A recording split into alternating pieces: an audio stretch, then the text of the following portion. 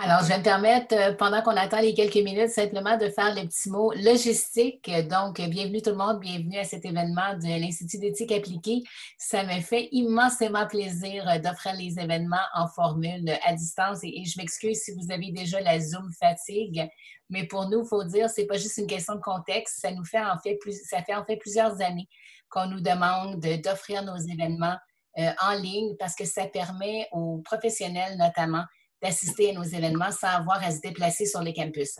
Et on voit selon les taux d'inscription qu'on a depuis, euh, depuis qu'on a commencé la saison 2020-2021 que ça permet vraiment de répondre à un besoin. Alors, je vous rappelle pour ceux qui n'ont pas l'habitude des midi-conférences, quelques, quelques informations de base. Première chose à savoir, vous êtes euh, en plein contrôle de votre micro et de votre vidéo. Alors, vous pouvez à tout moment fermer votre micro, même fermer votre caméra.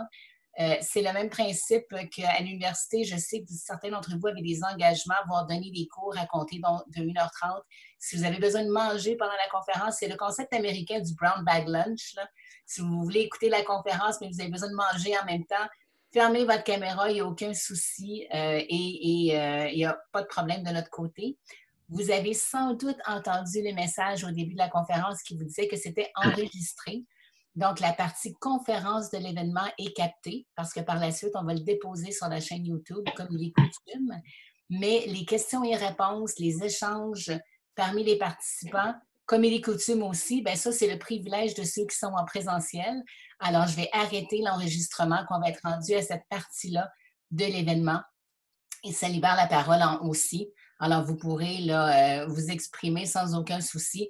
Ça ne va pas se retrouver sur les internets, comme on dit. Alors, sans plus tarder, je cède la parole à Andrew Freeman, responsable de l'axe éthique et santé à l'Institut d'éthique appliquée. Bonjour tout le monde. Euh, c'est vraiment un grand plaisir de, voir euh, tout ce monde euh, avec nous aujourd'hui. nous avons vraiment la grande chance d'avoir avec nous Madame Marie-Josée Drolet de l'Université de Québec à Trois-Rivières qui va, qui va présenter ce, midi-conférence aujourd'hui. Euh, très brièvement, euh, je dois lire les détails pour être juste, mais après avoir obtenu en 1993 un baccalauréat en ergothérapie à l'Université Laval et avoir ouvert pendant plusieurs années comme ergothérapeute dans le réseau de la santé et services sociaux du Québec, Marie-Josée a entrepris des études de philosophie et a obtenu en 2010 un doctorat en philosophie spécialisé en éthique de l'Université de Montréal. Elle est aujourd'hui professeure au département d'ergothérapie de l'Université du Québec à Trois-Rivières et enseigne notamment l'éthique professionnelle et l'éthique de la recherche. Avant de passer la, parole, je vais dire que le thème de notre midi-conférence aujourd'hui en fait euh, émerger euh, d'un échange libre euh, entre les membres de notre observatoire chantier éthique et santé au printemps passé. En fait, dans le contexte de COVID, il y avait tout un échange sur les, multiples enjeux éthiques et entre autres le silence éthique, le détresse éthique qui est vécu par plusieurs intervenants euh, et cadres, etc., dans notre réseau. Donc, c'était, euh, la graine a été sémée à ce point et depuis qu'on a dit oui, il faut poursuivre ça, euh, Marie-Josée est gentiment de dire qu'elle était prête à nous aider avec, avec ça, mais moi, j'ai entendu plusieurs commentaires récemment sur l'importance de ce thème. Donc, je vais arrêter de parler maintenant. Merci beaucoup et bienvenue, Marie-Josée. C'est à toi. Parfait. Merci, Andrew. Merci, euh, Jennifer, pour l'invitation. Euh, alors, sans plus tarder, je vais euh, partager le PowerPoint de ma communication.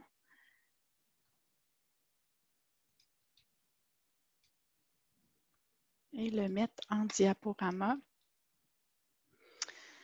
Donc, euh, bienvenue à tout le monde. Bon appétit pour ceux qui, euh, qui, prennent un moment de pause pour manger. Et euh, dans le fond, pour mettre en contexte, c'est ça, Jennifer et Andrew souhaitaient que je discute avec vous de silence éthique et de détresse éthique. Et ben, en fait, j'ai accepté partiellement ce défi. Donc, euh, comme vous le verrez, en fait, ce que je souhaitais faire aujourd'hui avec vous, puis j'espère que ça répondra aux besoins puis que ça sera utile. je ne voulais pas tant vous présenter beaucoup de contenu théorique. En fait, je voulais, excusez-moi, je joue avec ma caméra, je voulais présenter six types d'enjeux qui sont documentés dans les écrits qui m'apparaissent tout particulièrement intéressants pour discuter des différentes situations problématiques qui sont vécues en pratique chez plusieurs professionnels et peut-être dire que je m'intéresse notamment aux typologies des enjeux éthiques qui existent dans les écrits. Et quand on se met à les recenser, on peut se rendre compte qu'à peu près, on en a recensé plus d'une trentaine avec mes équipes. Donc, différentes expressions, différents mots pour décrire les enjeux éthiques vécus en pratique. Puis, jusqu'à maintenant, on trouve que les, six que je vais vous présenter aujourd'hui sont à même de couvrir quand même euh, plusieurs ou un grand spectre d'expériences euh, vécues en pratique. Et euh, le fait d'être capable de mettre un mot sur ce qu'on vit, c'est comme, pour faire une analogie avec la médecine, c'est comme si ça nous permet de faire un diagnostic éthique de la situation. Puis on pense que ça peut être une bonne approche là, pour mieux comprendre ce qui est vécu au plan éthique en pratique. Donc, en ce qui a trait à ma façon de fonctionner, je vous dirais, si ça vous convient, là, moi, je préfère quand on, discute ensemble. Si vous avez des questions, des commentaires, si vous voulez intervenir, n'hésitez pas. Jennifer a gentiment accepté de gérer les mains levées et le chat. Donc, à tout moment, n'hésitez pas à m'interrompre. Euh, ça me convient tout à fait. Donc, sans plus tarder, on va commencer. Donc, euh, aujourd'hui, dans le fond, le plan de ma communication euh, est assez simple. Je voudrais commencer par une activité brise-glace. Ensuite, euh, une introduction du propos, deux objectifs que je vais vous présenter, que je poursuis avec vous aujourd'hui. On va regarder les six enjeux que je vous propose, les six catégories d'enjeux, en fait, en les illustrant par des exemples concrets. on va examiner aussi rapidement quelques pistes de solutions qui se trouvent dans les écrits pour aborder ces situations-là et quelques ressources éthiques. Bon, évidemment, tout ça est loin d'être exhaustif. Là. On a à peu près une heure ensemble. Alors, vous connaissez peut-être déjà euh, cet enjeu éthique-là. Euh, pour ceux qui, ne connaissent pas l'enjeu, euh, je vous invite à examiner cette image et essayer de me dire dans vos mots, d'après vous, quel est l'enjeu éthique? Euh, quelles valeurs peut-être sont, sont, euh, bafouées? Parce qu'un enjeu éthique, c'est une situation, il y a plusieurs définitions, là, mais disons qu'entre nous aujourd'hui, on peut dire qu'un enjeu éthique, c'est toute situation qui compromet le respect d'au moins une valeur en pratique. Puis à quel type d'enjeu éthique vous pensez euh, qu'on a affaire? Donc, c'est une femme qui s'appelle McIntosh aux États-Unis qui en a parlé euh, une des premières fois en 88. Donc, est-ce qu'il y a quelqu'un qui veut euh, se lancer, euh, essayer de, voir quel enjeu, à quel enjeu éthique a-t-on affaire? Qu'est-ce qui est problématique dans cette image?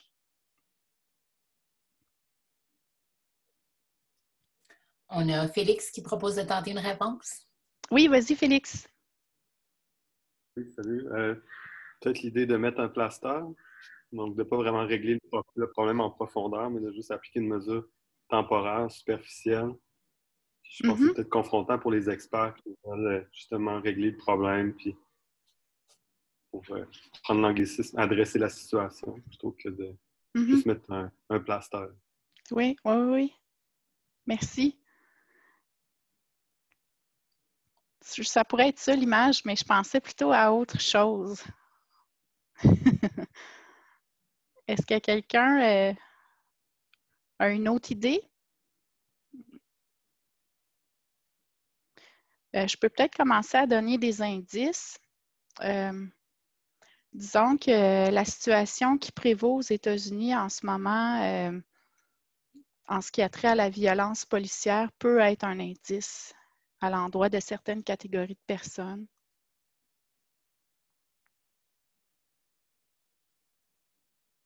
OK, je vais vous donner une autre image. Oui, Nancy? Je ne sais pas si c'était la première personne qui a levé sa main, mais je l'ai vu. Oui? Ben, en fait, c'est que le plaster est fait pour les blancs. Hein, il n'y a pas de plaster brun ou ça, ça, ça, donne tout de suite une image de la, de la majorité blanche là, qui. Exactement, exactement. Donc, euh, l'enjeu qui, était, qui a été pensé par McIntosh, c'était vraiment ça. C'est l'idée de voir qu'à peu près tous les. Euh, tous les, euh, les pansements ou, les, voyons, je manque de mots, les, objets, c'est ce qui me vient, là, mais qu'on utilise en santé ont souvent la couleur chair. Or, il y a à peu près 20% des êtres humains sur la planète qui a cette couleur-là. Donc, le fait que ça soit largement utilisé de par le monde, à peu près tous les plasters sur la planète et les bandages ou autres, euh, les orthèses en écothérapie ont souvent la couleur chair. Ça montre tout de suite qu'il y a des inégalités sociales importantes euh, entre, euh, entre les personnes et qu'il y a une couleur de peau qui serait considérée comme meilleure ou plus intéressante ou à, tout le moins dominante. Euh, et ça peut amener euh, la personne qui n'a pas cette couleur de peau-là, comme se voir comme euh, imparfaite, incomplète ou, autre. Donc, donc c'est un enjeu éthique. puis on va voir que cet enjeu éthique-là est catégorisé dans les écrits comme un aveuglement éthique. Donc, c'était mon, mon, mon, activité brise-glace. On va revenir plus loin. mais donc, l'introduction aujourd'hui, c'est je m'excuse s'il y a des diapos euh, assez euh, lourdes, je vais les expliquer dans mes propres mots. Dans le fond, c'est que, comme je le disais tout à l'heure, il, y a plusieurs typologies qui existent pour catégoriser les enjeux éthiques. Puis, quand je discute avec différents cliniciens, différents intervenants dans le milieu, ce qu'on se rend compte, c'est que le fait d'être capable de nommer un enjeu peut être utile pour outiller le regard ensuite des intervenants sur le terrain pour bien percevoir ces situations-là. Et la plupart des auteurs s'entendent pour dire que c'est la première étape. Si on veut adresser une situation qui est problématique de nature éthique, la première chose, c'est d'être capable de le percevoir, l'enjeu. Or, parfois, on est dans des situations où on ne le perçoit pas pour toutes sortes de raisons. Donc, le fait d'avoir des mots, des catégories pour nous aider à, identifier, repérer les situations peut être une étape dans la résolution future euh, des enjeux. Donc, c'est la raison pour laquelle plusieurs auteurs estiment que c'est une étape qui ne devrait pas être négligée. Alors, aujourd'hui, les objectifs sont assez simples. Ce que je souhaite ensemble, c'est vraiment qu'on discute de six catégories d'enjeux, de six types d'enjeux éthiques qui sont proposés dans les écrits, puis qu'on échange ensemble sur euh, les catégories, on va voir que ce pas des catégories parfaites, que ce pas des catégories mutuellement exclusives, etc., mais ça amène quand même un vocabulaire éthique qui peut nous aider, je pense. Et ce que je souhaite, c'est qu'on discute non seulement sur ces catégories-là, mais aussi ou surtout peut-être sur les moyens, les pistes de solutions euh, qu'on peut utiliser pour, euh, je m'en allais dire, adresser, pour résoudre ces situations-là ou en tout cas tenter d'améliorer les choses en pratique. Alors, comme je le disais tout à l'heure, un enjeu éthique, c'est une situation qui compromet euh, le respect d'au moins une valeur, une valeur considérée comme évidemment désirable en pratique. Euh, les six enjeux que je vais vous proposer ou qu'on va discuter ensemble aujourd'hui, c'est le dilemme. Le dilemme, c'est à peu près la catégorie qui est la plus utilisée euh, en général quand on parle des enjeux éthiques. Euh, pour avoir rencontré beaucoup d'intervenants en pratique, le, le dilemme éthique, c'est souvent pas les situations qui sont le plus vécues selon mon expérience, en tout cas en ergothérapie, pour avoir rencontré plus de, 200 ergothérapeutes en entretien individuel, les situations qui sont les plus vécues en pratique, dépendamment des milieux, c'est euh, la tentation éthique, le silence éthique et la détresse éthique. Pour l'aveuglement, c'est difficile à dire parce qu'évidemment, on ne sait pas euh, si on est porteur d'aveuglement éthique, mais on peut présumer que nous sommes tous porteurs d'aveuglement éthique et euh, la myopie éthique, euh, possiblement aussi. Mais les trois situations qui sont le, plus discutées, c'est en général tentation, silence et détresse. Donc, pour être en mesure de percevoir ces enjeux-là dans le quotidien de la pratique, euh, il y a des auteurs qui disent qu'il faut une certaine sensibilité éthique. Euh, c'est souvent les valeurs qui nous sont importantes et qui nous sont chères, si on veut, qui nous permettent de percevoir les enjeux. Si on valorise l'égalité, si on valorise la justice, on va plus de facilité à percevoir les enjeux relatifs à l'égalité et la justice, par exemple. Mais ce n'est pas les seules compétences éthiques qui peuvent être requises pour nous aider à résoudre les enjeux éthiques. On parle souvent de réflexion éthique dans les écrits, donc c'est à peu près la compétence éthique qui est la plus discutée. Euh, donc, cette idée d'utiliser plus sa raison euh, pour être capable d'aborder les situations euh, de manière éthiquement responsable. La sensibilité éthique a peut-être plus rapport aux émotions, elle, par contre. On parle aussi de deux autres compétences éthiques importantes, à savoir la motivation et le courage éthique. Bon, évidemment, euh, ces, compétences éthiques-là ont des définitions différentes selon les auteurs. Ici, je m'appuie beaucoup sur euh, Swisher, Swisher qui sont des, euh, des penseurs dans le domaine de la physiothérapie. Donc, ils vont définir, eux autres, la motivation éthique comme la capacité de la personne à opter pour la meilleure solution, et le courage éthique, donc ça concerne la volition, dans le fond. on met tous les autres intérêts de côté puis on opte pour la, solution éthiquement euh, désirable. Le courage éthique, c'est plutôt la, capacité de la personne à persister, euh, à, bien agir, donc en dépit des embûches, en dépit des difficultés rencontrées. OK. Donc, les six enjeux, ce sont ceux-là. Donc, dilemme, tentation, silence, détresse, aveuglement et myopie. Donc, je vous, propose qu'on examine chacune de ces, catégories d'enjeux éthiques avec des exemples et qu'on discute ensemble de chacune de ces catégories. Donc, on commence avec le dilemme éthique. Euh, ici, je m'appuie sur euh, Swisher encore une fois. Donc, ces auteurs nous disent qu'un dilemme éthique, on le sait on le sait bien en général, comme je vous disais, que c'est à peu près la, catégorie d'enjeux la plus discutée dans les écrits. Donc, le diamétique, c'est une situation où un individu va être confronté à un choix euh, déchirant parce que les options qui s'offrent à lui sont, euh, sont, désirables, en fait. Donc, parce qu'elles se fondent sur des valeurs qui sont difficilement conciliables, voire même irréconciliables. Donc, on sait qu'en bout de piste, on va probablement prendre une bonne décision, mais euh, on ne réalise pas la, décision qu'on pense la meilleure, c'est-à-dire que la, c'est-à-dire la, décision qui permettrait de respecter toutes les valeurs qui sont désirables dans la situation. Donc, je vous donne un exemple. Vous travaillez avec des personnes aînées dans le continuum des soins de santé et des services sociaux du Québec ou d'ailleurs. Quotidiennement, vous avez à prendre des décisions qui mettent en tension la valeur qui est l'autonomie avec celle qui est la sécurité. En ergothérapie, c'est à peu près le dilemme le, plus discuté, mais je pense que ça transcende euh, nettement l'ergothérapie.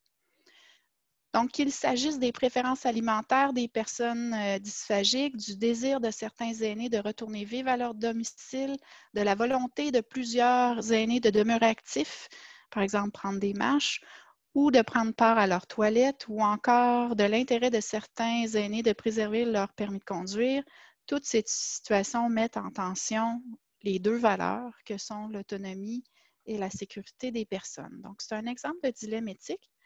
Est-ce que vous auriez d'autres exemples de dilemme éthique que vous vivez en pratique et que vous souhaiteriez partager euh, maintenant? Donc, n'hésitez pas, ne soyez pas timide.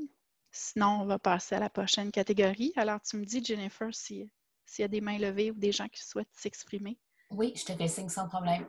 Pour le moment, euh, tu as l'attention de tout le monde. OK. Bon, on continue d'abord. Alors, la tentation éthique. La tentation éthique, c'est un enjeu éthique un peu moins connu. Euh, c'est une situation où un individu est confronté encore là à un choix difficile parce que ses intérêts, imaginons ses intérêts plus personnels sont en tension avec ceux euh, de clients ou de patients. Et où euh, cette personne-là, on peut penser que ses intérêts personnels sont, comme en conflit avec ceux des patients, de sorte que ces, ces intérêts personnels pourraient nuire aux intérêts des, patients ou des clients. C'est une situation, pourquoi on l'appelle tentation éthique, c'est où le professionnel va être tenté de prioriser euh, ses intérêts personnels ou ceux de son milieu euh, au détriment de ceux des clients. Donc, euh, j'ai mis une image là un peu qui met en tension. c'est comme notre, ange et démon intérieur, puis qu'on serait tenté d'aller vers nos, intérêts personnels qui nuiraient à ceux des patients. Donc, je donne un exemple. Vous travaillez avec des, assureurs comme la CNESST, la SAAC, l'IVAC, ainsi que d'autres assureurs privés. Les revenus de votre clinique sont entièrement financés par ces assureurs, de sorte qu'il est à l'avantage de la clinique d'entretenir de bons liens avec ses tiers payeurs pour assurer des références nombreuses, régulières et constantes. Il est ainsi parfois tentant d'être complaisant avec les tiers payeurs et de formuler des recommandations qui s'accordent avec leurs souhaits et intérêts. Aussi, étant donné que certaines périodes de l'année sont plus difficiles à financer, par exemple le temps des fêtes et les vacances, il est aussi à l'avantage de la clinique de prolonger les interventions. Donc, c'est un exemple de tentation éthique qui est vécu notamment euh, en privé, en ergothérapie et en, physiothérapie, euh, mais peut-être aussi dans d'autres disciplines de la santé. Donc, est-ce que vous auriez des, exemples de tentations éthiques euh, que vous souhaitez partager ou réagir euh, à l'exemple que je viens de donner?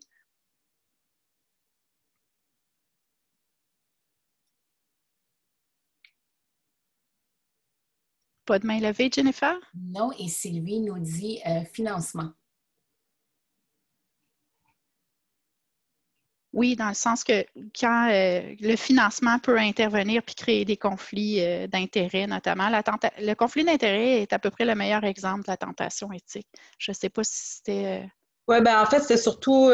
moi, moi, je travaille pour des boîtes communautaires et puis souvent, étant donné que nos, nos projets, ben, souvent, étant donné que notre financement est fait par projet, ben, il faut correspondre à des statistiques. Donc, souvent, l'intervention euh, ou l'accompagnement avec les personnes va un peu, peu teinter, du moins, euh, euh, ben, justement, l'accompagnement ou. Oui, oui, oui, c'est vrai que c'est pas juste vécu au privé. Je me souviens aussi d'un exemple d'une fondation qui avait tendance, par exemple, à proposer des projets à certains organismes de santé dans le réseau public, mais ce n'était pas nécessairement, comment dire, si on regardait d'un point de vue de santé publique ou d'un point de vue plus large, ce n'était pas nécessairement les projets dans lesquels on aurait voulu nécessairement socialement mettre de l'argent, mais vu qu'il y avait de l'argent dans une fondation, on pouvait être tenté de dire bon, OK, on va mettre de l'argent dans ce projet-là, mais à court terme, il y aurait eu d'autres urgences. c'est un peu ce que j'entends dans ce que, oui, ce que vous dites. Oui. Mm. Ensuite, dans le chat, on a Félix qui nous dit les repas pharmaceutiques. Oui. Oui, tout à fait. Et on a Karine qui nous dit Est-ce que tentation pourrait être égale à conflit? Dans le sens de conflit d'intérêt, euh, certainement, oui. Merci pour, euh, pour euh, vos, vos, commentaires et additions. Si ça vous va, je vais aller avec l'autre catégorie. Donc, le silence éthique. Le silence éthique, c'est une situation où un individu un professionnel ou un intervenant va percevoir un manquement éthique dans son milieu, mais ne va pas dénoncer euh, la situation pour diverses raisons. Donc, ça peut être, par exemple, d'avoir peur des représailles, ça peut être d'avoir un doute quant à sa perception de l'enjeu, euh, ça peut être parce qu'il manque d'espace de parole dans le milieu ou, parce qu'il y a une vision autoritaire qui est imposée et qu'on sent qu'on n'a aucune marge de manœuvre. Euh, je vais vous donner un exemple. Euh, je dois dire que tous les exemples qui sont rapportés aujourd'hui sont tous des exemples vécus, mais qui ont été euh, adaptés. Donc, votre euh, programme a une liste d'attente importante. Des critères ont été créés pour prioriser les références. Le premier est la gravité du besoin et le deuxième est la date de la demande de service. Lors d'une rencontre, le chef d'équipe indique qu'un ministre sera priorisé, même si son besoin est mineur comparativement aux autres clients en attente sur la liste d'attente, et que la demande est somme toute récente. Des clients attendent depuis plus d'un an. En fait, le vrai cas, il y avait des, clients qui, attendaient depuis plus de deux ans. Donc, le chef d'équipe souhaite montrer euh, au ministre que l'établissement fait bien son travail Donc, lui éviter notamment cette attente. Cette situation injuste vous préoccupe beaucoup, mais vous gardez votre malaise pour vous. Est-ce que vous auriez d'autres exemples de silence éthique vécu dans, vos milieux?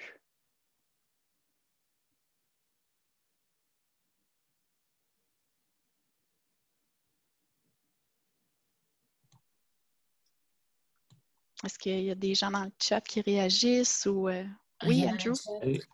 Mais, euh, durant notre échange au printemps, euh, dans le contexte de la pandémie, plusieurs personnes ont mentionné vraiment ces phénomènes en lien avec la gestion de la crise mm-hmm. et les, les, impacts néfastes multiples sur les, les, personnes, entre autres, dans les CHSLD.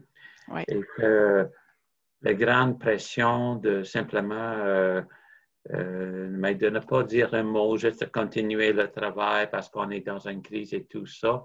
Mais il y avait une souffrance éthique à l'intérieur pour plusieurs intervenants dans ces situations parce qu'ils ont vu les vrais impacts sur les personnes. Tout à fait. Je sais que dernièrement, il y a des gens qui m'ont écrit pour me dire que c'est pas juste une personne isolée, là, mais des gens qui voyaient des situations de maltraitance, notamment en CHSLD, mais qui n'osaient pas dénoncer ou faire des plaintes parce que leurs proches euh, reçoivent des services au sein du CHSLD, que ce soit euh, un parent ou un frère ou une sœur. Donc, euh, donc c'est ça. Il y a même des gens qui ont commencé à faire des documents pour inscrire tout ce qu'ils voient de maltraitance sans oser prendre la parole. Puis, non, c'est pas facile. Effectivement, ça amène une grande souffrance. Effectivement, on parle souvent de résidus éthiques dans les écrits. C'était toi d'ailleurs, Andrew, qui m'avait sensibilisé avec euh, le concept des résidus éthiques. Merci. Est-ce qu'il y a d'autres personnes qui veulent réagir sur le silence éthique? Je poursuis la présentation des enjeux. Sans problème. OK. On arrive maintenant avec la détresse éthique. Euh, chez euh, Swisher, donc l'auteur euh, sur lequel je m'appuie, souvent Swisher nous dit que les silences éthiques à long terme peuvent se transformer en détresse éthique. Donc, la détresse éthique, c'est une situation où un, individu, un intervenant dans notre contexte, sait exactement ce qu'il devrait faire pour bien agir d'un point de vue éthique, mais rencontre toutes sortes de barrières dans son milieu généralement de nature organisationnelle, qui vont euh, l'empêcher d'agir comme il souhaite agir. Donc, il est dans une situation où euh, il n'est pas capable d'agir selon sa conscience. et ceci amène évidemment des émotions négatives, toutes sortes d'émotions négatives, de la colère à l'indignation, à l'impuissance, ce qu'on appelle justement le résidu éthique, qui peut aller jusqu'à épuiser la personne. Donc, je vous donne un autre exemple. Euh, ben, ce dont on vient parler pourrait amener de la, euh, de la, détresse éthique, bien évidemment. Euh, un autre exemple pourrait être le suivant. Avec les coupures dans le réseau de la santé et les pressions de performance, un intervenant pourrait se sentir littéralement submergé de travail. Donc, les démarches de défense des droits, par exemple, des clients qui étaient naturelles par le passé sont désormais quasiment impossibles. Aussi, euh, l'intervenant pourrait avoir le sentiment de couper les coins ronds, par exemple, de ne pas réfléchir suffisamment à ses interventions, euh, de faire des recherches pour vraiment appuyer ses interventions sur euh, des résultats de recherche, donc des données probantes, d'intervenir comme il se doit, en tout cas en ergothérapie, dans le milieu naturel des clients et d'être véritablement centré sur les personnes aussi euh, l'intervenant, et ça, ça arrive souvent quand on est débordé, là, pour avoir le sentiment, voire même négliger sa tenue de dossier. Cette situation euh, est évidemment frustrante et euh, peut même affecter le sommeil de l'intervenant, voire son bien-être et sa santé au travail. et la flamme qui l'animait comme professionnel peut aussi s'étioler. Donc, est-ce que vous auriez d'autres exemples de détresse éthique? Souvent, le mot détresse fait peur. Euh, moi, je me souviens quand, j'ai commencé mes recherches sur les enjeux éthiques en ergo, la plupart des, ergothérapeutes me disaient Ah non, non, non, je ne vis pas de détresse, mais après ça, les exemples qu'ils donnaient, c'était des situations de détresse éthique. Puis je dirais que depuis à peu près trois ans, euh, là, il n'y a aucune gêne à parler de détresse éthique. Le mot fait beaucoup moins peur qu'avant. Est-ce qu'il y a des réactions, euh, Jennifer? On a une réaction dans le chat de la part de Céline. Céline, je demanderais peut-être une précision. c'est sûr que je vais faire une précision. J'ai posé sur Return euh, trop tôt. Euh, ça me faisait penser les, les situations de détresse éthique et vous pouvez confirmer ou infirmer euh, Marie-Josée. C'est les cas où est-ce qu'on a utilisé tous les mécanismes existants à l'intérieur pour faire monter une problématique rencontrée qui soulève des enjeux éthiques et après les avoir tous utilisés, on se sent vraiment démuni pour que le problème soit adressé parce que les obstacles sont, plus qu'organisationnels. Il y a des enjeux de personnalité, il y a des enjeux et tout, et qui conduisent à la délation euh, euh, sur, sur la place publique. Oui, tout à fait. C'est ça. Dans les écrits, il parle que les barrières sont surtout de nature organisationnelle, mais dans un contexte où les organisations ne sont pas dissociées de la société, notamment, c'est sûr qu'il y a des enjeux qui peuvent être encore plus macro, donc liés à, des visions, des politiques, des manières d'agir au sein de notre société, puis impacter, excusez-moi l'anglicisme, avoir une conséquence évidemment sur les organisations, puis euh, donner peu de marge de manœuvre finalement aux organisations, voire même aux personnes au sein des organisations. Oui, puis l'exemple que tu donnes est un, autre exemple aussi, je pense, de détresse éthique. Ce n'est pas que des barrières organisationnelles, effectivement. Merci. Merci Céline. On a aussi dans le chat, euh, si je poursuis, euh, Karine. Autre exemple, devoir limiter les interventions auprès d'un patient hospitalisé en zone chaude. Oui, tout à fait, tout à fait. en ce moment, je pense que c'est euh, les détresses éthiques risquent d'être comme tellement plus nombreuses. Oui, merci de l'exemple. On a Sylvie qui nous dit la simple reconnaissance des intervenants. Oui, oui, tout à fait. Caroline Maltais euh, a levé la main. Merci, Caroline, de le mettre dans le chat. oui, euh, moi, je voudrais revenir sur justement les deux derniers, le, silence éthique et la détresse éthique. Et euh, en lien avec la COVID, est-ce qu'on peut penser que les professionnels qui avaient certains points de repère dans le cours normal de leurs activités sont en train de les perdre en situation de crise, c'est-à-dire qu'est-ce que je vais dénoncer? Je suis dans une situation de crise où les moyens sont limités, je suis témoin de situations inacceptables. Est-ce que je vais vraiment dénoncer parce que je suis en situation de crise? Euh, c'est dans ce sens-là que je me dis, est-ce qu'on peut penser qu'ils risquent de perdre leur point de repère de ce qu'on devrait dénoncer ou pas dans une situation de crise? Oui. Je trouve que c'est un autre bon exemple effectivement, les repères ont, été, euh, ont été chamboulés. Puis ça peut amener, euh, oui, un questionnement supplémentaire sur. Euh, puis aussi une fatigue, là, dénoncer, ça demande de l'énergie. Donc, dans un contexte où on, prend les bouchées doubles, il y a plein de. Il y a plein d'intervenants qui n'ont pas eu de vacances ou pris des vacances écourtées cet été. Donc, on peut, on peut penser aussi que ça, ça joue. Donc, la perte, à la fois la perte des repères, mais aussi une, fatigue qui commence à se cumuler. Oui, merci. C'est un très, très bon élément. On a un commentaire. Il nous reste encore plusieurs commentaires dans le chat. Je prendrai celui de M. Brodeur et ensuite j'irai à la main levée de Luc Bégin. Alors, Normand nous dit que cette situation est beaucoup documentée en travail social très fréquent. Hmm. Oui, d'ailleurs, avec, euh, avec une de, mes équipes, on s'est intéressé aux nouveaux modes managériaux euh, en santé qui peuvent amener des situations de détresse éthique. On a, lu pas mal d'écrits en travail social, ça nous a été très utile. C'est ça, en travail social, vous avez comme une capacité peut-être plus grande que nous en ergothérapie à, percevoir ou à bien discuter de ces situations-là plus macro, plus sociales. Donc, euh, votre formation qui m'apparaît en tout cas peut-être encore plus euh, qui prend en compte les éléments systémiques euh, aide vraiment. merci pour vos contributions en travail social sur ces enjeux-là, c'est précieux. Ensuite, je prendrai la main levée de M. Bégin. Oui, bonjour. Euh, bon, c'est une question en fait qui, euh, qui a trait à la typologie. Puis bon, toutes les typologies, évidemment, ont leurs avantages et euh, leurs inconvénients aussi parce qu'on doit faire des choix. Ma, question, c'est, il me semble que dans la façon dont tu définis bon, les éléments, je comprends bien tentation, silence, détresse, il me semble qu'on est toujours envoyé en arrière-plan à l'idée de dilemme, à l'idée centrale de dilemme. Et c'est pourquoi il me semble qu'on ne travaille pas au même, on, peut difficilement placer le dilemme au même niveau que les autres. Je m'explique rapidement. C'est que le dilemme, c'est l'idée d'une situation où un individu est confronté à un choix. Bon, tu le présentes choix déchirant, etc. Mais c'est l'idée de choix d'action qui est centrale à la notion de dilemme éthique. Quand on regarde la tentation, à la façon dont tu l'as présenté, il me semble que la tentation, ben, c'est un dilemme hmm. euh, auquel fait face la personne entre valoriser son avantage économique, son intérêt personnel, ou valoriser, par exemple, l'honnêteté, la probité professionnelle.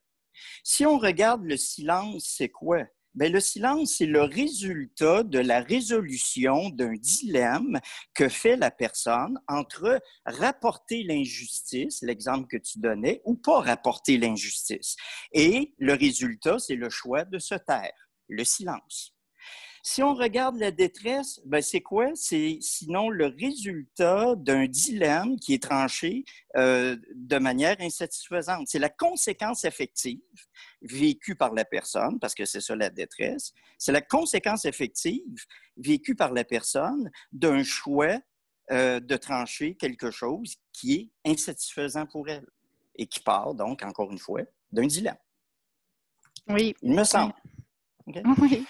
C'est qu'on joue sur des registres qui sont très différents les uns des autres, qui sont tous extrêmement pertinents. Puis je pense que la façon dont tu les présentes, ça clarifie bien justement des enjeux qui sont majeurs. Mais, mais, mais, je ne pense pas qu'on puisse, euh, c'est ça, dire, on les place côte à côte comme si c'était des, un peu des équivalents, et surtout que le dilemme est un parmi tant d'autres. Mm. Enfin. Merci de la contribution, mais, mais en tout cas, je vais me permettre de réagir parce que je ne suis pas d'accord. C'est fantastique! Yeah! Euh, ensemble, on peut euh, améliorer. Moi, je souhaite créer une meilleure typologie, puis je ne suis pas satisfaite de celle-là. Fait que je comprends qu'on ait des réserves, mais pour moi, là, chaque enjeu confronte la personne non pas à un dilemme, mais à un doute éthique sur euh, l'avenue qui serait à prendre. Parce que le dilemme oppose vraiment deux biens, alors que la tentation oppose un bien à un mal. Donc, c'est oui, la personne est en doute et est déchirée sur sa manière d'agir en au moins deux options, mais ce n'est pas un dilemme. En tout cas, dans cette typologie-là, le dilemme oppose vraiment que des biens éthiques. Donc, il ne ah. peut résulter du dilemme que des biens éthiques, tandis que la tentation, il peut résulter ben, un mal éthique, entre guillemets les situations de silence aussi, parce que ne pas dénoncer, c'est une forme de mal éthique, c'est-à-dire qu'on n'améliore pas la situation si on ne parle pas. Puis la détresse, ben c'est ça. Là, peut-être que les options qui s'offrent à la personne, euh, il n'y a pas de choix, elle sait quoi faire, pas, euh, mais c'est qu'il y a des obstacles. Donc, ce n'est pas les mêmes situations, ce n'est pas, euh, pas des équivalents de dilemme, à mon avis. Mais, mais mais bon, il y a sûrement moyen de développer une meilleure typologie.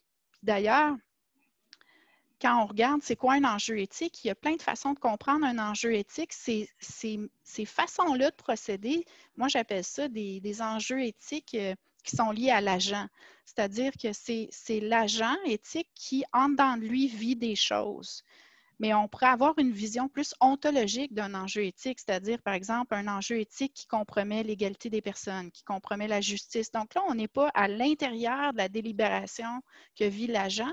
On a une vision plus ontologique où on va dire, ben, cet enjeu-là euh, euh, implique euh, ben, c'est injuste, par exemple, ou c'est inégalitaire, ou ça bafoue la dignité, ou on a de la maltraitance organisationnelle. Donc, moi, souvent, je préfère une vision plus ontologique où on va nommer les, valeurs qui sont compromises. Mais quand on dit ça à des intervenants, ça ne les aide pas. Ça aide pas. Alors que cette typologie-là, selon l'agent, parce qu'elle part de ce qui se passe à l'intérieur de la personne, euh, permet de mettre des mots pour identifier éventuellement les valeurs qui sont compromises dans la situation, donc une vision qui serait plus ontologique. Mais merci pour le commentaire parce que ça, m'arrive souvent que ce commentaire-là vient, mais je pense que c'est qu'on comprend peut-être pas bien le processus euh, de l'équipe de Swisher euh, qui essaie de, nous inviter. En fait, moi, je pense que cette typologie-là a été créée pour nous aider à mieux voir les enjeux éthiques qui sont vécus notamment, mais pas uniquement, euh, en pratique privée. Donc, euh, l'idée de la tentation éthique serait vraiment un enjeu complètement différent du dilemme, parce qu'on n'est pas dans une situation où il y a deux biens euh, qui sont... Oui, je me permettrai juste de dire, tout est là. Tout est dans la définition donnée de dilemme qui confronte deux biens, alors que moi, dans ma, ma, façon d'envisager un dilemme, il ne s'agit pas nécessairement de deux biens. Donc, une fois que ça est clarifié, on peut comprendre le, sens de la typologie. Euh, mais, mais, bon, c'est clair que moi, je m'opposerais à cette définition-là du dilemme qui me, semble beaucoup trop lourde, beaucoup trop déjà orientée, tout simplement. Mais bon, écoute, je te laisse continuer et on pourra en discuter un autre, euh, un autre moment. C'est fort intéressant. Oui, merci.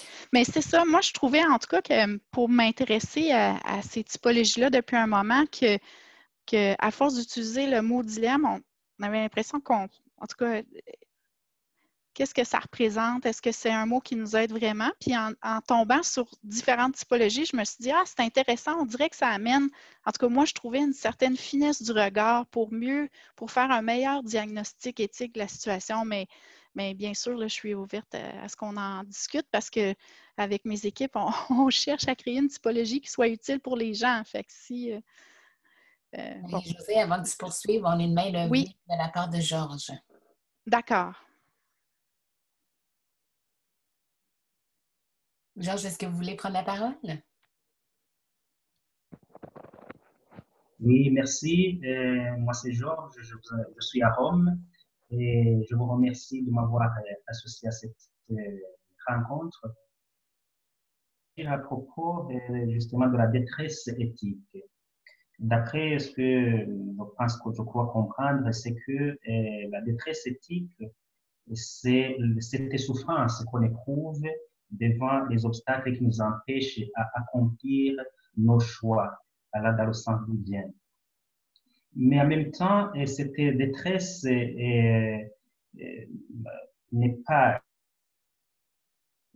donc je ne peux pas avoir cette je, ne peux pas m'accuser de ne pas avoir agi parce que je ne, je ne suis pas en mesure, donc je ne suis pas libre d'agir. Alors, je voudrais savoir en quoi, effectivement, cette détresse peut être dite éthique. Merci. Ben, je crois que les, ben, il y a plusieurs auteurs, là, il y a peut-être des différences à faire chez les auteurs. Je sais que Jemeton, par exemple, en, soins infirmiers, en sciences infirmières, parle beaucoup de détresse éthique. Euh, chez Swisher, de mémoire, en tout cas, euh, cette détresse est qualifiée d'éthique au sens où la personne euh, connaît l'action éthique, ou en tout cas pense la connaître, et souhaite agir selon sa conscience éthique, donc une valeur qui serait euh, souhaitable dans le contexte, mais rencontre des barrières. Donc, elle est qualifiée d'éthique au sens où euh, c'est un enjeu éthique, c'est-à-dire qu'il y a au moins une valeur dans la situation qui, selon l'agent, devrait être respectée mais ne l'est pas. Bon, est-ce que c'est un bon terme pour, définir ce phénomène-là? Euh, je ne le sais pas. Euh, il y a sûrement des analyses conceptuelles à faire qui devraient être faites parce qu'on parle souvent de détresse psychologique ou autre. Bon, qu'est-ce qui distingue la détresse psychologique de la détresse éthique? Je pense que c'est des questions hyper pertinentes. Mais euh, ce que je me rends compte, en tout cas depuis quelques années, c'est que ce concept-là, en tout cas, semble beaucoup parler euh, aux intervenants en pratique. Euh, je ne sais pas si ça répond à, votre question. Oui, oui, merci beaucoup. Parfait. OK. Donc, je... est-ce que je continue, Jennifer, ou il y a quelqu'un d'autre qui voudrait réagir sur la détresse éthique? Euh, en fait, simplement dans le chat, on a un commentaire de Marc Bégin. Oui, on peut distinguer certaines réalités associées à l'éthique, enjeux, doutes, problèmes, tensions, malaise et dilemmétique. Mhm. Oui, c'est ça. Euh, et puis, bon, je ne suis pas rentrée dans les les 30 catégories qui existent, là, mais il y, a, beaucoup de créativité chez les philosophes, comme on le sait, dans la création des concepts. Euh, on, l'a vu en début de présentation, donc c'est un enjeu qui est non perçu par un individu, généralement pas juste un individu, mais une collectivité, pour diverses raisons euh, qui, sont, qui peuvent être liées à la sensibilité éthique, mais qui sont généralement plutôt liées à une certaine forme de socialisation dans un contexte donné, qui amène à, percevoir ou à attribuer certaines caractéristiques à, ce qui est dit comme normal. Donc, euh, cette vision-là vient qu'à teinter euh, le regard et on peut avoir de la difficulté à, avoir euh, les perspectives qui sont comme qui s'écartent de cette vision de la normalité. Donc, c'était l'exemple du diachylon qui est de couleur chair qu'on a vu tout à l'heure. Est-ce que vous pensez à d'autres aveuglements éthiques peut-être que, que vous vivez en pratique? Vous dites des situations qui vous apparaissent comme des enjeux éthiques, mais que vous avez l'impression qu'ils sont en général peu perçus ou peu discutés ou peu amenés sur la place publique?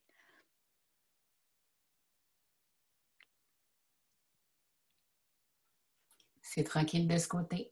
Parfait. Donc, le dernier, euh, la dernière catégorie que je voulais vous présenter aujourd'hui, c'est la myopie éthique. Je voudrais peut-être euh, juste une petite chose. Oui. Je veux revenir sur l'aveuglement éthique. Est-ce qu'on euh, peut penser que ça pourrait se diviser aussi en deux catégories, un aveuglement qui pourrait être volontaire d'un aveuglement qui pourrait être non volontaire? Est-ce que, est que vous auriez euh, des exemples d'un aveuglement volontaire versus involontaire pour que, que je puisse mieux répondre peut-être?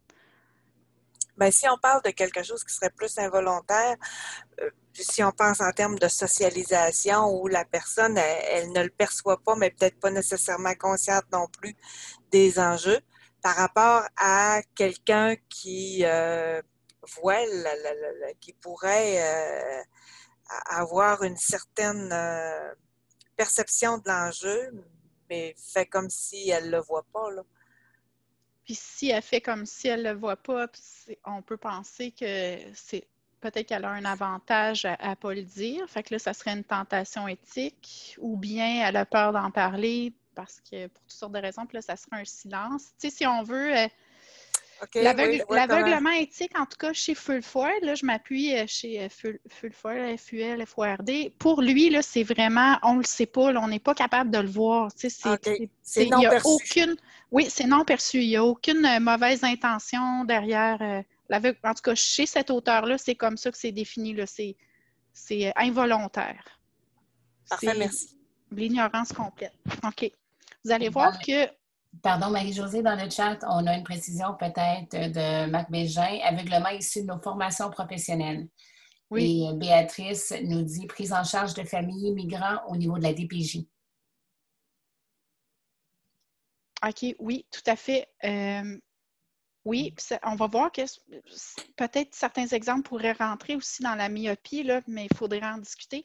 Mais euh, oui, c'est clair que la façon dont on est socialisé au sein de chacune de nos professions, ça vient avec euh, toutes sortes de biais euh, qui nous amènent des aveuglements éthiques. D'où l'importance de travailler dans des équipes très hétérogènes pour s'assurer qu'on gère mieux nos biais.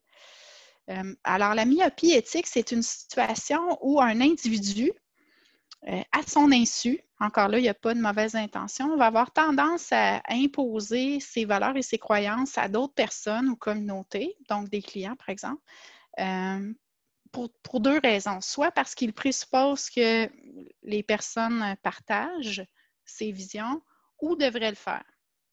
Donc, je vous donne un, exemple. Vous travaillez occasionnellement avec une clientèle autochtone ou appartenant à d'autres communautés culturelles bien que vous basiez vos interventions sur des outils dits standardisés, la plupart de vos interventions ne, se concluent pas par un succès clinique. Donc, à force de vivre de tels échecs, vous en êtes venu à anticiper négativement vos interventions avec cette clientèle qui demande énormément de temps et d'investissement pour peu de succès. Donc, la myopie éthique, comme l'image le montre, c'est qu'on impose un cadre, une façon de faire, une vision de la santé, euh, euh, à des personnes qui, euh, par exemple, et le fait d'imposer ce cadre-là crée un tort éthique. Donc, l'exemple de la DPG, d'après moi, pourrait bien pourrait être un exemple de myopie éthique dans certains cas. Est-ce que quelqu'un veut réagir sur la myopie éthique? Félix nous demande est-ce qu'on risque le relativisme? Euh, oui, c'est une bonne question. C'est une très bonne question. Euh, quand on va arriver dans les pistes de solutions, je vais vous proposer des outils pour éviter de tomber dans le relativisme éthique.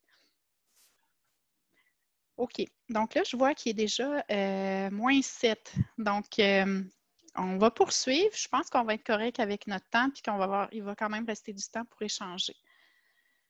Donc, si on fait un, sommaire de ce qu'on a vu jusqu'à maintenant, donc, six catégories d'enjeux en sachant très bien qu'il y en a d'autres euh, dans les écrits, mais que celles-là sont en général euh, appréciées des intervenants, donc dilemme, tentation, silence, détresse, aveuglement et myopie. Euh, je vous ai mis en bref là, les principales pistes de solutions qui sont proposées par divers auteurs pour, pour adresser chacune, chacun de ces enjeux-là. Donc, c'est comme si le fait de faire un bon diagnostic de la situation qu'on vit comme intervenant euh, nous amène vers des, pistes de solutions qui, peuvent être différentes selon les enjeux. Donc, quand on est dans le cas d'un dilemme éthique où les options qui s'offrent à nous, ce sont tous des bonnes options, mais qu'il y a des valeurs qui sont vraiment irréconciliables dans le contexte, alors les auteurs vont nous dire que c'est davantage au plan de la réflexion éthique que ça se passe. Donc, il va falloir se donner du temps pour bien réfléchir à la situation en équipe et tenter euh, de hiérarchiser en quelque sorte les valeurs en présence ou, peut-être de les concilier dans la mesure du possible. En ce qui a trait à la tentation éthique, où là, on a un bien qui s'oppose à un mal, pour le dire d'une manière simple, euh, les auteurs vont nous amener à, avoir une posture de gestion de conflit des intérêts. Donc, identifier ses intérêts, puis évidemment, prioriser ceux euh, des clients dans le contexte et s'aider de, nos collègues pour s'assurer que, c'est fait de manière éthique. En ce qui a trait au silence éthique, euh, ben, les auteurs vont vers la prise de parole. Bon, évidemment, euh, dépendamment des raisons pour lesquelles euh, on garde silence, c'est pas toujours facile. Ça a l'air facile de dire, bon, suffit de prendre la parole, mais on, sait, on sait à quel point c'est pas simple. Donc, le fait de valider sa perception avec des personnes de confiance, euh, peut-être dans notre intimité dans un premier temps, là, évidemment en, gardant le secret professionnel. Euh, puis, euh, tranquillement, de valider auprès de personnes de confiance dans son milieu de travail et d'ensemble, briser le silence, ça peut être une avenue. En ce qui a trait à la détresse éthique,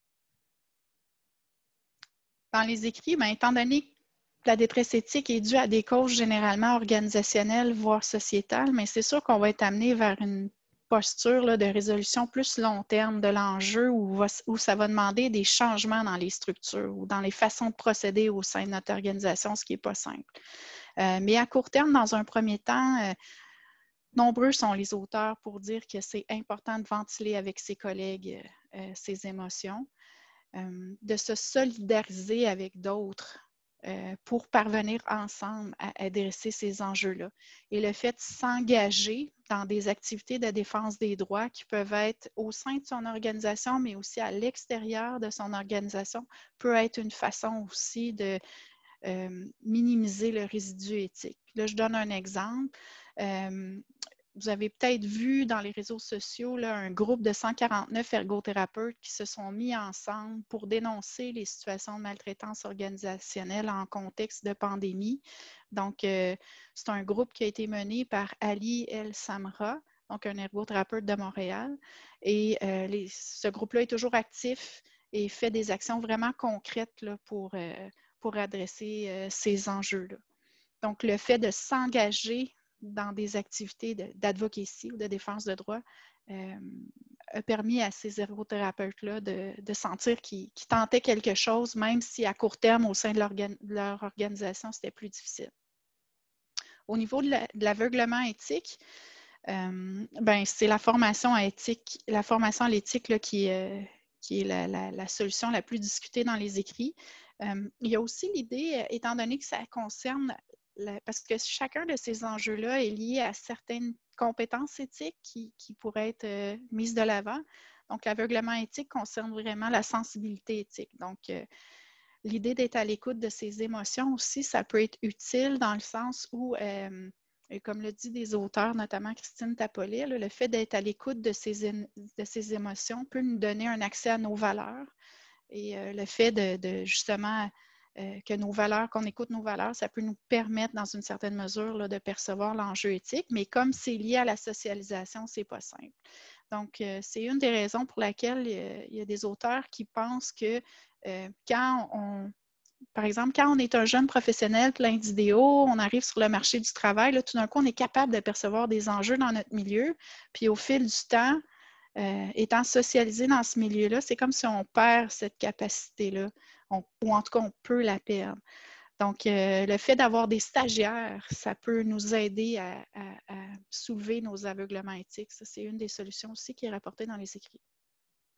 En ce qui a trait à la myopie éthique, euh, c'est l'idée de, la compétence culturelle. Je sais que c'est un terme qui est de plus en plus controversé, mais l'idée de développer ses compétences à travailler dans des contextes d'altérité, euh, c'est une solution qui est nommée dans les écrits évidemment, avoir une posture euh, d'humilité épistémique et éthique est, nécessaire pour résoudre les enjeux de myopie éthique. Donc, ne pas présumer qu'on a raison, être, ouverture être ouvert et accueillant euh, des perspectives qui sont différentes euh, des nôtres. Je vous ai mis quelques auteurs qui discutent de ces solutions-là dans les écrits. Marie-Josée, si je peux me permettre, on a Sylvie qui avait levé sa main, qui aimerait faire une intervention. Oui, en fait, c'est plus un commentaire. Euh, je ne sais pas si c'est à propos, mais il me semble que la myopie éthique est vraiment euh, un enjeu sournois parce que oui.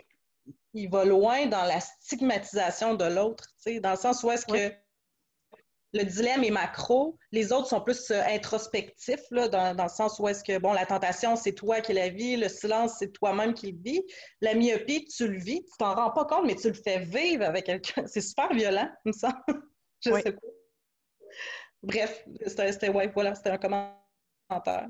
Oui, merci beaucoup. La, myopie éthique, euh, en tout cas, moi, je le trouve super intéressant là, comme enjeu parce que euh, ce qui est, je ne sais pas si vous vous souvenez, mais dans la vignette, en plus, on parlait que l'intervenant s'appuie sur des outils standardisés. Euh, en fait, c'est à peu près l'approche qu'il ne faut pas avoir en contexte culturel parce qu'on n'a à peu près aucun outil clinique. En tout cas, je, parle en ergothérapie, mais j'imagine que c'est pas mal la même chose dans d'autres domaines. Mais on n'a à peu près aucun euh, modèle, théorie, outils qui ont été euh, développés pour, euh, sur des bases qui prennent en compte le savoir expérientiel des minorités culturelles. Donc, on crée du tort dès qu'on utilise nos modèles, nos théories nos outils standardisés. Donc, euh, donc c'est un problème parce que souvent, euh, on va avoir tendance comme intervenant à, être un peu sur le pilote automatique, puis on utilise les mêmes outils, euh, les mêmes théories avec tout type de clientèle. Donc, sans s'en rendre compte, on fait du tort. Donc, oui, c'est hyper violent. Merci du commentaire. On a une question aussi de Céline. oui, bonjour Marie-Josée. C'est super intéressant étant plongé dans les enjeux et les risques éthiques depuis tellement d'années, euh, c'est rafraîchissant des fois d'avoir d'autres euh, typologies que celles avec lesquelles on travaille. Euh, tout à l'heure, sur le chat, je partageais que par rapport au dilemme, je suis un petit peu dans la même position que Luc. À partir du moment où on l'associe, on lui associe le mot éthique, on peut le distinguer des autres choix d'options et tout ça. Par contre, même si je trouve ça super rafraîchissant, puis qu'il y a des mots que moi, j'aurais pas utilisés, que je trouve très, très intéressant utilisé comme la détresse, l'aveuglement et la myopie, entre autres. Le silence, ça c'était déjà connu, la tentation aussi. Ce qui me questionne par rapport à votre présentation, je sais qu'il y a un temps limité, je sais que vous avez parlé d'une trentaine au départ, mais il y avait dans le titre de la présentation pour éclairer sa pratique professionnelle. Et là, je ne retrouve pas d'enjeux qui sont liés à la relation professionnelle, à savoir quand le professionnel utilise notamment son savoir qui lui donne un pouvoir dans la relation. Donc, euh, toute cette, euh, cette, inégalité de pouvoir due au savoir ou à, l'expertise. Euh, je suis un petit peu surprise de ne pas le retrouver, mais peut-être que c'est juste parce qu'il n'y a pas de temps, ou sinon, peut-être juste en dire quelques mots là-dessus. J'avoue que de mémoire, je ne me souviens pas si dans les typologies existantes, il y avait un, enjeu qui adresse, qui adresse, excusez mon doux, c'est un anglicisme, qui rend compte de cet enjeu-là d'inégalité de pouvoir. mais je pense que la myopie éthique peut en faire partie.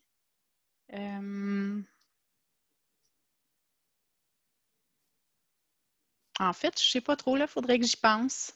Est-ce que, est que vous, vous avez des idées? Oh, ben, c'est sûr qu'en éthique professionnelle, c'est sûr qu'en éthique professionnelle du temps, euh, il fut un temps jadis où j'enseignais. c'est un enjeu qu'on adressait beaucoup dans tous ceux qui étaient dans de l'intervention professionnelle. Euh, on pourrait s'en reparler par ailleurs. Euh, mm-hmm. les, coordonnées là, sont sur le site de l'IDEA ou encore demander à Jennifer. Euh, parce que je ne mm-hmm. voudrais pas prendre le temps de la conférence là-dessus. Mais pour toute personne qui est en intervention professionnelle, la relation professionnelle, c'est majeur. Et ben beaucoup de ces enjeux-là, d'enjeux éthiques, vont se jouer à ce niveau-là. Ne serait-ce que de reconnaître la compétence du client sur sa propre vie. Donc, euh, on pourrait s'en parler. Oui, mais je pense que la myopie éthique pourrait rentrer là-dedans parce que dans, euh, dans la vision de la myopie éthique de Fullfeuille, il y a toute l'idée d'avoir une posture d'humilité épistémique et éthique. Là, donc, ça pourrait peut-être euh, rentrer là-dedans, mais euh, ça m'intrigue. Je vais aller voir. Euh, ça vaudrait peut-être la peine de rajouter quelques enjeux qui sont discutés dans les écrits parce que c'est ça, il faut faire des choix à un moment donné. Puis j'ai mis ces, six-là, mais il y en a plein d'autres. mais c'est clair que la relation thérapeutique, en tout cas, devrait être égalitaire, mais elle n'est souvent pas pour toutes sortes de raisons. Puis peut-être que là, dans ces six-là, c'est la myopie éthique qui en rend plus compte, quoique la tentation aussi. En tout cas, je pense que la façon dont les enjeux sont présentés, c'est ce qui se passe chez, l'intervenant.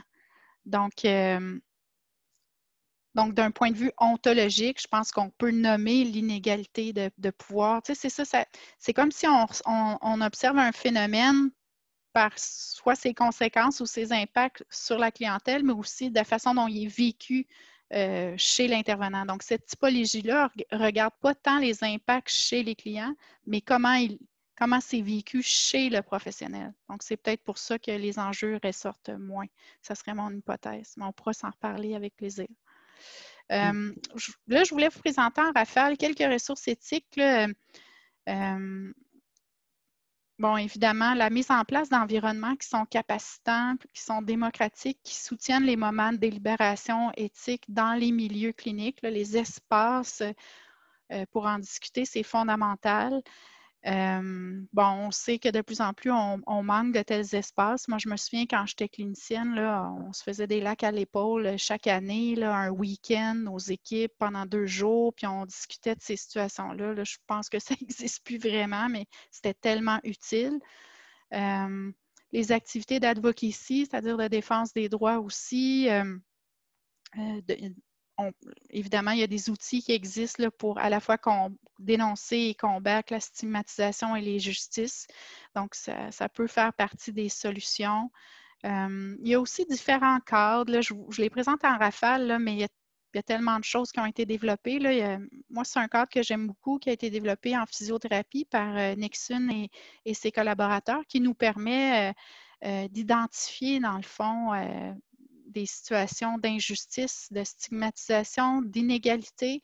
Donc, si vous avez la chance de, lire euh, Nixon, elle nous propose une méthode assez simple en sept étapes qui nous permet vraiment de porter un regard critique sur nos pratiques. Puis, je trouve que ce cadre-là d'analyse critique nous permet vraiment de repérer nos aveuglements éthiques, mais aussi les situations de myopie éthique.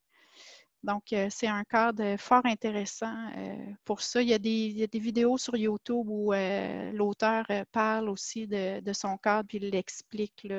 Donc, il nous permet vraiment, ce cadre-là, d'outiller notre regard en tant qu'intervenant, en tant que clinicien sur les dimensions vraiment politiques qui sont à l'œuvre dans les interventions, dans nos organisations de santé. Donc, ça permet, c'est ça, de voir les rapports de force puis les adresser.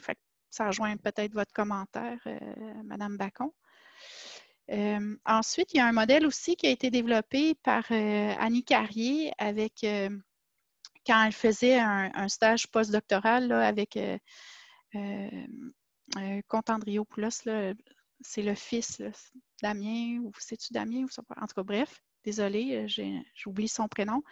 Donc, c'est encore là, c'est un modèle intéressant parce qu'il permet de soutenir nos démarches d'advocacy et nous assurer qu'on va vraiment prendre le temps de non seulement prendre en compte tous les tenants et aboutissements du projet d'advocacy qu'on veut mettre en place, mais aussi d'évaluer son efficacité.